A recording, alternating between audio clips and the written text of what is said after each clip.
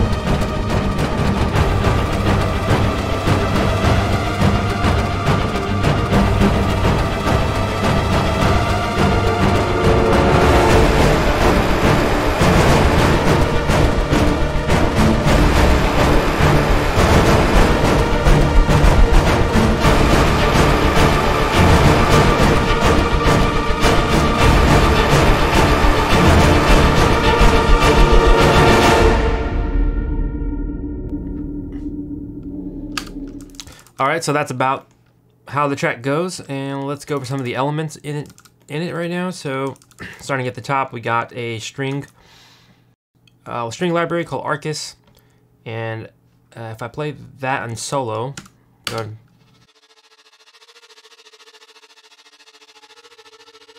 you can hear what that's doing. That's kind of like a rhythmic, uh, really high-end rhythmic fast pulse going on, and I put on a tremolo it doesn't sound like that naturally, so let's take off this insert.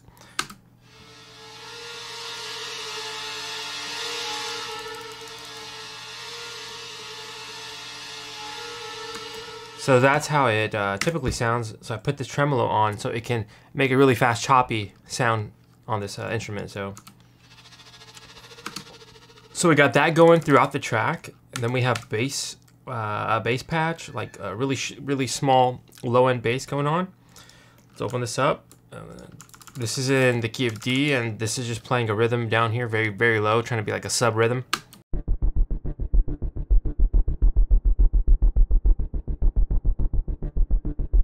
So uh, sort of pulse going on down there. Uh, then we have our orchestra strings, and the violas really. Uh, I mean, using mainly violas, bass, and cello. That's because uh, trying to go with some of the more lower end stuff. Violins didn't really play much in this track. So let's go ahead and listen to how these kind of play. And by the way, this is violas, two of them from two different patches because I'm trying to get a more full sound. Let me just pull one of these up and you'll see the notes that are being played. You got one, like the one of the of the of the key, and then three, five, and six. Those are the main notes that play. Uh, those are the main notes that kind of give a suspenseful sound in the in the minor key. So that's what I'm using here, and that's that in solo. Uh, one thing that I like to do when it comes to action music or just any music in general is I'll use the patch. I'll use like the close mics and the main mics. I'll take the hall mics off. I don't like it when it has that uh, that built-in hall. I like to kind of add a stylized reverb to, to my sound. So I, I want to start with a more dry sound and then add more, add characteristics to it. Um, of course, EQ. You can see the EQ here. We got low cut, and we have like a boost around 3.3 uh, around this area because action music, trying to give it more of a uh, piercing kind of sound to some of it. And uh, if we look at the sends, I'm sending it to a hall, and I'm also putting a kind of a two second algorithmic uh, reverb on it as well. And again, that's because I want to give it a stylized sound. I don't like it when it has the hall sound. When it just has like the standard hall sound, I mean, it sounds it sounds fine. It's realistic, but I'm not really going for a realistic orchestra. I'm kind of trying to go for action music, more modern sounding in this track. So there's that, and then we have the cello. Um, same kind of thing. I'm playing the dry uh, patches as well, with just like a hint of the main, so it's not super dry. Although I would, uh, I think it's fine when it's super dry as well, but you're gonna have a hard time getting percussion to sit because usually these, per these percussion libraries don't have a very uh, dry sound to it. You could probably edit it uh, and make it sound kind of drier, but um, I didn't really do it for some reason. so, I mean, I did it a little bit, but there's other ways to do it as well, which I didn't go into. So here, the cello play, this kind of like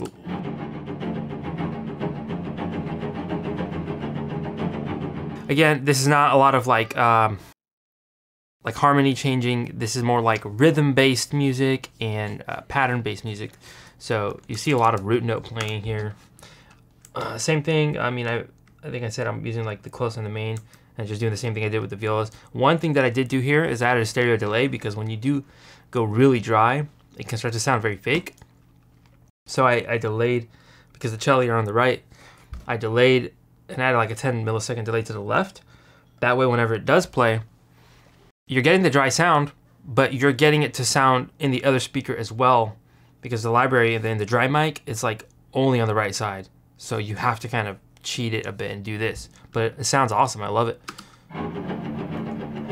There's that. The basses, same thing, uh, same concept. These ones, I don't think I sent. Yeah, see, I didn't send it to the convolution uh, like reverb here because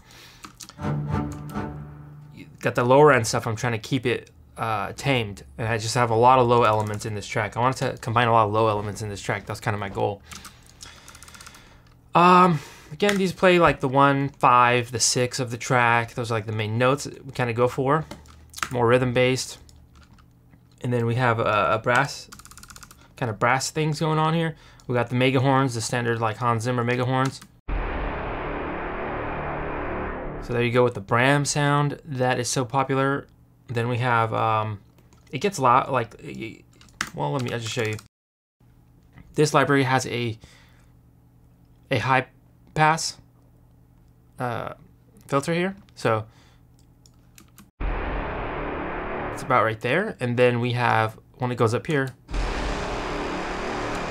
you get a lot more of that high end because obviously we're bringing we're using that modulation to bring it back in. So it kind of builds that uh, instrument up because we're just we're just fading in the high notes, which is really cool. I love doing that.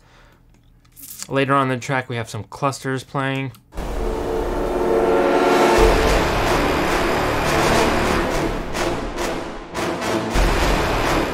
So again, the braams combined with uh, some crescendo clusters, and then we have those stabs. Here are the stabs. And then we have some synth playing. We have some plucking, uh, short synth, plucking synths. Of course, they're playing super fast, so you, you don't really hear it, but I'll click on some of these notes. So you can see that is uh, some synth from Omnisphere patch. Um, then we have some melody synth here going on.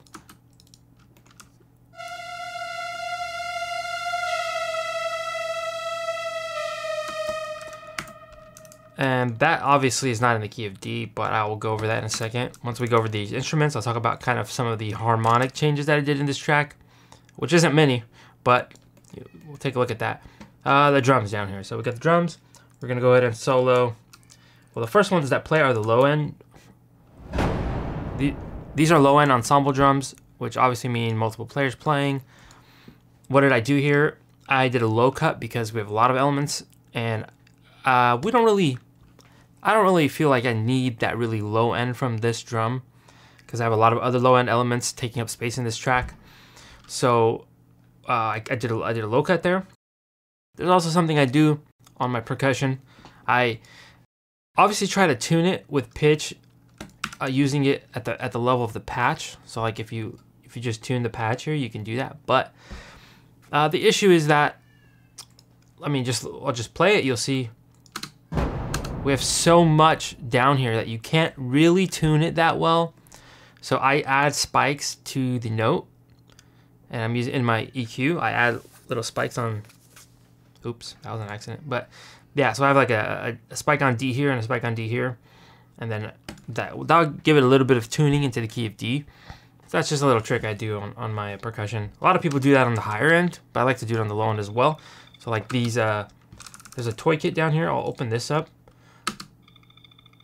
I don't know if you can hear that on this, but it's it's uh it's just like a a toy sound. Here we go. Let's go to the louder part. Kind of like an insect sound going on. That sound right there. If I go open up the EQ again, we have a spike over here. It's in the fifth of the key. A little spike going on a lot of people and they do that nowadays in a lot of modern music, modern uh, film music. We have these uh, big booms down here. I use this to just give it like a just a, a bigger sub sound down there. Just every now and then a little uh, a big boom.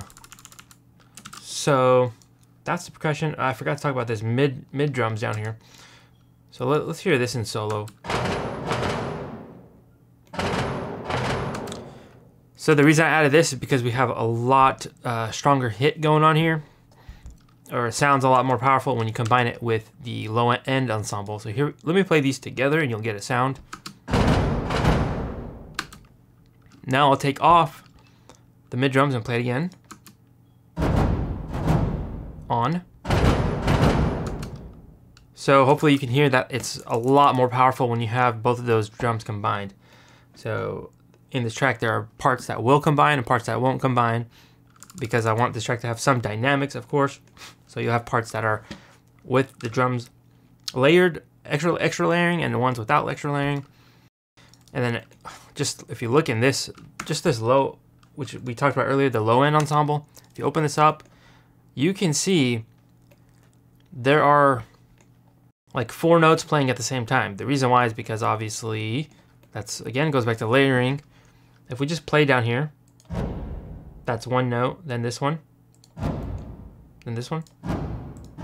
So you can see it goes from low pitch to high pitch. And when you play a lot of pitches at the same time, you're gonna get a fuller sound. Um, so, I mean, the percussion is just layered. you know, you got layers within one patch and layers within another patch. So you got just a big full ensemble playing.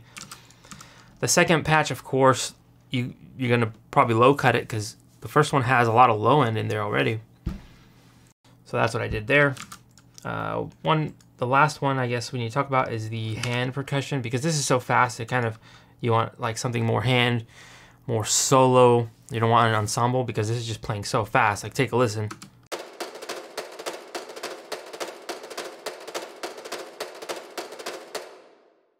Obviously, the player is to be tired. you can't play that for that long uh, unless you're not human. But of course, I'm not going for a real realistic thing here. I just want something that sounds cool. So that is those are the elements of the track. One one kind of thing that when it comes to this kind of music, because it's so rhythmic and it's like more pattern based, uh, you don't use as, a lot of harmonic shifts and changes as much as other music does. You're not doing like chord progressions, but you can still do things like you can modulate, you can do stuff with modes. So there's a modulation and we get like a, a, Phrygian sound. And one of the ways I do like a Phrygian sound is I'll, I'll descend until you can hear, I'll descend uh, some notes until you're about to hear the root. And then instead of hearing the root, you'll hear the note right above the root. So you're gonna get a Phrygian feeling by doing that. So for example, here, we're descending from F to E and then your ear wants to hear D, but it's going to hear D sharp. And it's really that surprise that gives you the mode, the sound of a mode. How do you emphasize a mode? With surprise. So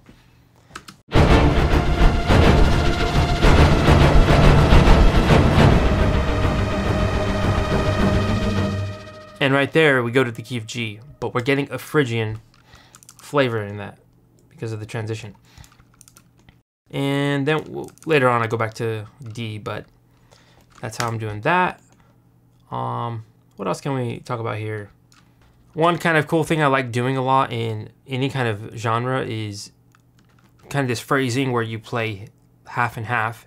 So you like, uh, you might play in the phrase, half of it will play something, and then the other half of that phrase will play something else. Uh, you just have kind of two sections in it. So this part right here, the drums will kind of drop out halfway through, and you'll get the strings playing. So let's just take a listen.